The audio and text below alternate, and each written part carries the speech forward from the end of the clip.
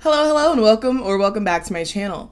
So last week it came out from a producer who worked on Yours Truly with Ariana Grande that several of the songs that ended up being on the album were initially intended for Jordin Sparks on her third album. And I don't know the context of how this news came out, you know, whether it was in an interview or a podcast or what have you, but it's been all over Twitter for the last couple days, so I did think that would be interesting to look into. More so because, you know, we know Yours Truly as an album that sort of jump started Ariana Grande's career as a solo artist outside of Victorious. So let's go ahead and get into it. So I'm not sure if we're at the point yet where some younger people might be familiar with Jordin Sparks, but I myself was even kind of young when she won American Idol. She won the sixth season back in 2007 at age 17, becoming the youngest American Idol winner in history. And for a time after her win, Jordin did see a lot of commercial success with her music.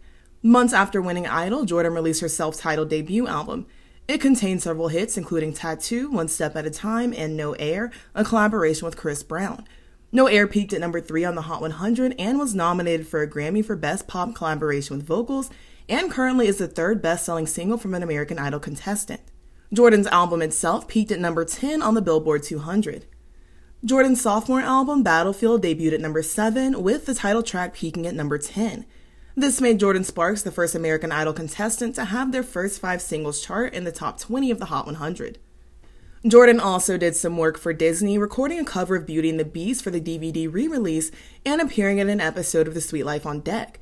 She also worked with Big Time Rush, featuring on one of their songs and appearing in an episode of their Nickelodeon show. Jordin played herself in her appearance on both shows. Around this time, Jordin made her Broadway debut playing Nina in In the Heights. In 2012, Jordin made her film acting debut in the remake of Sparkle, a film about a fictional Motown girl group's rise to fame. The film was loosely based on Diana Ross and the Supremes. Around this time, Jordin announced she was working on her third album. She stated it would have a more R&B feel and less of a pop sound. She also said 7 of the songs were already completed. However, Jordin's album wouldn't be released for years and she blamed her label for the delay. At this time, she was no longer with Jive and was now signed with RCA Records. Jordin said that RCA was using her role in Sparkle as an excuse to continuously delay her album and claimed there was no room in the schedule to properly promote it. She also stated she was looking for other avenues to get her music out. So, obviously, around this time and a little bit before, Ariana was working on and then promoting her debut album, Yours Truly, which came out in August of 2013. We now know that according to Harmony Samuels, who co and executive produced Yours Truly, that Jordin Sparks was the so called originator of the album. He and Jordin co wrote The Way, along with Sevyn Streeter and two other writers. The Way was originally written about Jason Derulo, who Jordin was dating at the time, and meant to be on the delayed third album. I was at a party, uh, it was actually like Puff's party, and um, they were playing a bunch of hip hop records. And I think Meek Mill had a record called Amen yeah. at the time, and it was bumping so hard, and it was just like it had everybody up on their feet. And I was like, I wonder what a girl would sound like on something like this. Yeah, yeah. Do you know what I mean? Yeah. And basically, it taught me like you can make records, and not everybody you make it for means it's going to be a number one hit on them. Sure. But it might be for someone else. And sure. the funny thing is, Ariana Grande wasn't even in my sights when I made the record. Yeah. I didn't even know who she was. Um, it was for Jordin Sparks. And then all of a sudden, two years later, it's Ariana Grande's and it's like a huge hit. And I'm like, okay, cool. Yeah. Okay. Uh, I, I, like I literally have a Jordin Sparks version. Oh, that so interesting. Right, that's how you know because she co-wrote on it. I don't know how I knew Sevyn Streeter worked on the way, but didn't know about Jordin because there are interviews of her from the time period talking about it. Samuels does give Ariana the credit of coming up with the idea of putting Mac Miller on the record. The way ended up being a hit for Ariana. The song has gone three times platinum since its release and peaked at number 9 on the Hot 100. Snippets of Jordin's demo are online, and she's posted some of the snippets herself. And though it is disappointing that the label didn't let her put the record out on her own, she does now have another platinum record to her name because of her writing credit on the song. According to Samuels, Jordin's third album was supposed to take a similar direction to Yours Truly, he claimed. While I was doing that album for Fantasia, I was working on those records for Ariana Grande, but they weren't Ariana Grande records, they were Jordin Sparks records. Jordin Sparks is the originator of those records and the blueprint behind who Ari is now. My vision was for Jordin to be that person. And I've never really thought about the fact that if a label won't put an artist's music out, the producer suffers too. It's obviously a given, but I feel like we usually center the recording artist in these conversations because they're the face of the issue. Samuels also stated the reason RCA delayed Jordin's album is because they didn't see the value of the music he was producing for her, and so they wanted Jordin to go in a different direction. Which, of course, if he's telling the truth, this does mean that it wasn't necessarily a budget or scheduling issue, as RCA had allegedly told Jordin. Samuels did give Ariana credit for what she added to the songs that he produced for Yours Truly. He stated, Kudos to Ari, she did a lot of work on that album. She didn't just cut those records, she put Mac Miller on those records, she called Big Sean. She had those relationships. We worked extremely hard together. She deserves all the success. While they would have been similar to an extent, I do wonder how different Jordin and Ariana's albums would have been though. Because Jordin stated she wanted her album to be more R&B pop influenced and yours truly does of course have that vibe. But I do wonder if Jordin would have gone for the more retro doo-wop influence for this era the same way that Ariana did. Because I do feel like that was a little bit influenced by her personal tastes. I could see Jordin taking a more modern 2000s R&B direction with the album, essentially a more R&B version of her previous music like she said she wanted. I also wonder what the album would have been called had Jordin released it or if there was ever a working title for it. Because Ariana herself named the album Yours Truly, stating the record sounded like a love letter. Ariana's debut album went through a lot of changes before she arrived at what became Yours Truly. She didn't like Put Your Hearts Up, which was initially intended to be the album's lead single. Ariana wasn't fond of the bubblegum pop sound of it and didn't want her whole album to sound that way, so the single wouldn't have fit on the album. For the album, she wanted to take a more urban pop 90s direction, inspired by a lot of the music she grew up listening to, and also said she took inspiration from artists including Mariah Carey, Whitney Houston, Amy Winehouse, and Alicia Keys. And then by the summer of 2012, Ariana also said the album would have that more 50s, 60s doo feel that we obviously came to see realized on Yours Truly.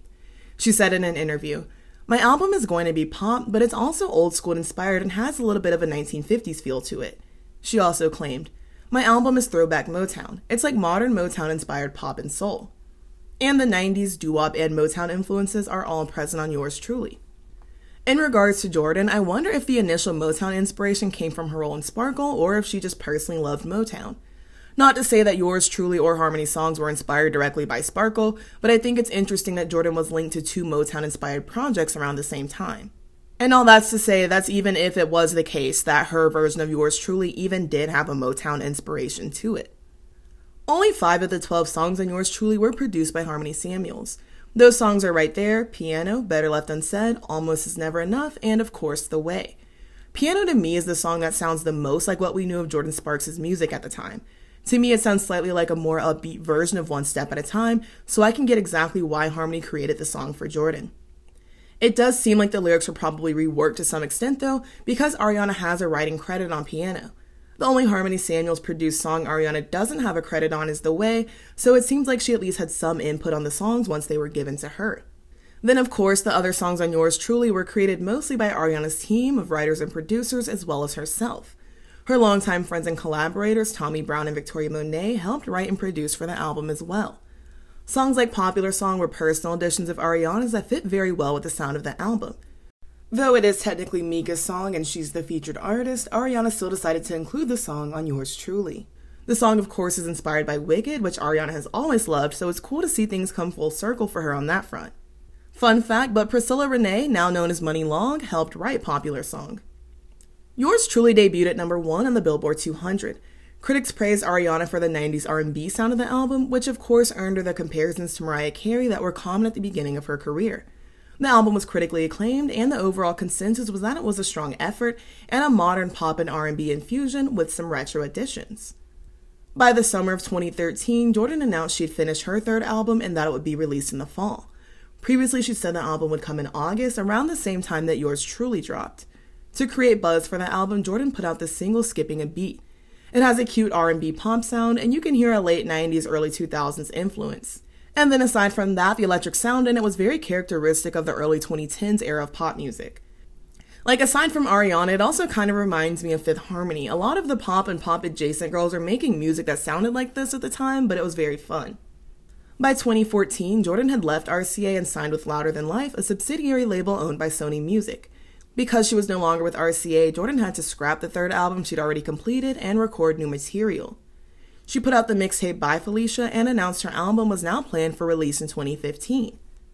The album, called Right Here, Right Now, came out in the summer of 2015. At this time, it had been six years since her last album, and Jordin said she wanted to show how she'd grown over the years within her music. Several of the songs do deviate from the earliest iteration of her third album, which is when the songs that ended up on Yours Truly were made. However, some of them, like Boys in the Hood, do seem like they would have fit among the songs that Harmony produced for her.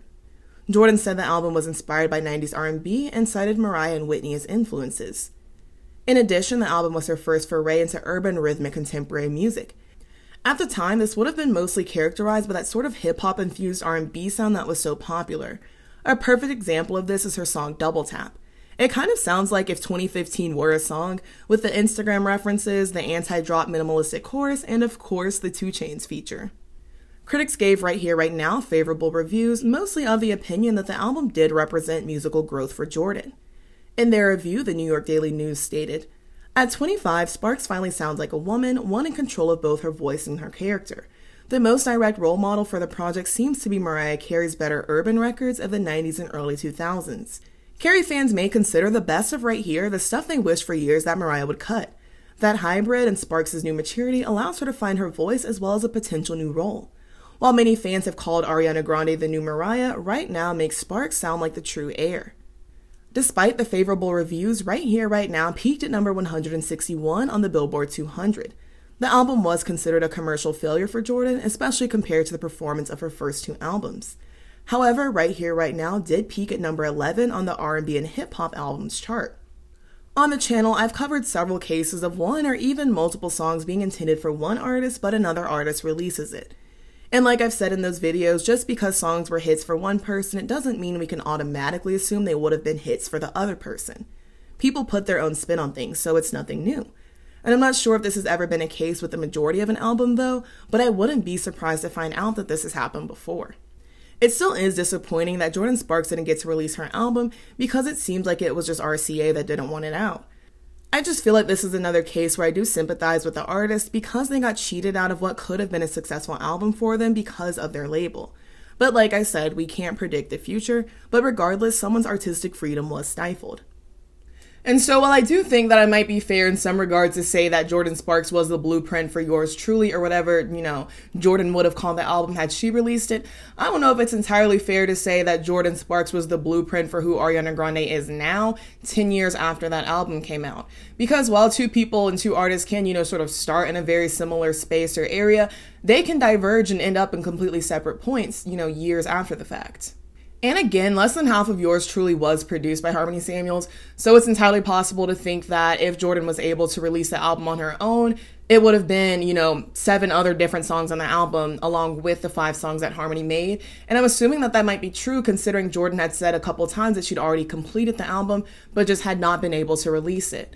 And then it also could be entirely possible that once it was, you know, made clear that Jordin wasn't going to be releasing this third album, that Harmony intended to give all of the songs he made for Jordin to Ariana Grande, and then she only selected five of them. So I'm not sure what's true and what's not, but I did just want to raise the fact that both of those, or either of those things, could be the case. You know, I'd always sort of wondered what happened with Jordin Sparks in her career, and I just assumed that when I made the American Idol or Psycho label video, which I didn't forget about by the way, that I would find out what happened to her then because I just assumed it was a case of, you know, American Idol contestant wins, they don't get the best record deal, and then, you know, they're trapped in limbo for years and it stifles their career. But it seems like this time around, again, it was RCA, allegedly. As always, thank you so very much for watching. Be sure to like, comment, and subscribe so that you can stick around for more. Also, make sure you follow me on Twitter if you want to keep up with me there. And if you'd like to become a channel member, the link is in the video's description. Again, thank you so very much for watching. I love you so very much, and we'll see you so very soon. Bye bye.